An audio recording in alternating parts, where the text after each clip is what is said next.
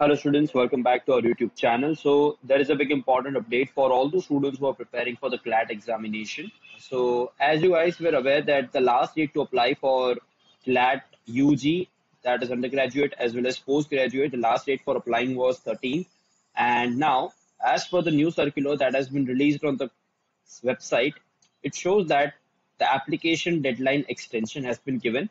And according to this notice, that the last date for submission for CLAT 2023, uh, it will be 18th November, that is Friday, till 11:59 p.m. So every student who has not yet filled the CLAT application form are, are requested to fill this form till this particular deadline so that you don't miss out the opportunity of appearing in this particular examination. Okay.